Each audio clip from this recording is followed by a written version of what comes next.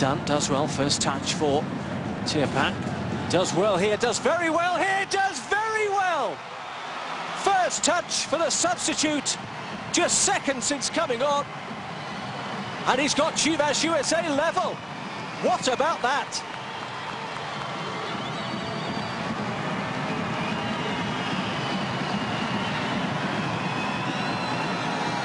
So is that his first, second, and third touch?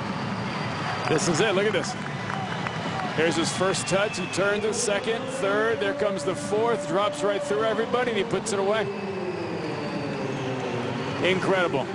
One, here's the turn. Alvarez stops. Nobody takes him down. Watts goes in. Everybody's just kind of standing. Nobody wants to get their body in the way. And he dribbles right through four guys and puts it away.